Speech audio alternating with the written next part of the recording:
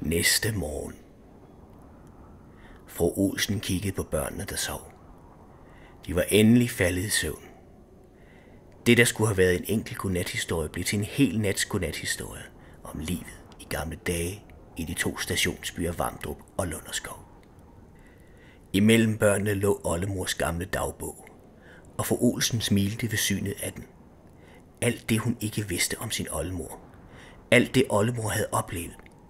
Det var som om oldemor havde været til stede ved alle de store begivenheder på egnen. Ikke som den, der startede begivenhederne, men som en nysgerrig flue på væggen. Mens fru Olsen tænkte på sin oldemor, faldt hun lidt i staver og lod blikket glide hen mod vinduet. Udenfor var det begyndt at blive lyst, og rundt om toget gik nogle mænd med orange jakker. De tjekkede, at alt var i orden med toget, mens en gravko forsigtigt puffede det væltede træ af skinnerne. For Olsen bemærkede det dårligt nok. Hendes blik var faldet på en gammel dame, der stod ikke så langt fra toget. Hvor kom hun fra? Des mere for Olsen kiggede på hende, des mere lignede damen hendes oldemor. Og det var som om hun pludselig blev forvandlet til en ung pige.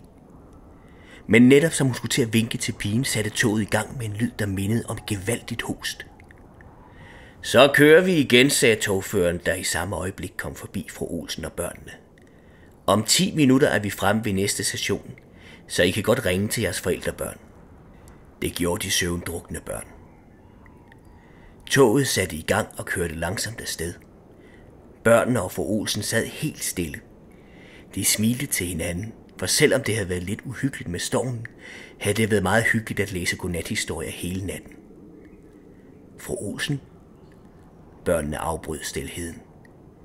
Vi fik aldrig læst alle historierne. Nej, det er rigtigt svaret for Olsen. Men så må vi jo mødes på toget igen og læse videre, fortsatte hun med et smil.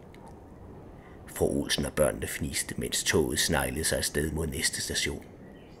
De glædede sig allerede til næste tur og næste storm.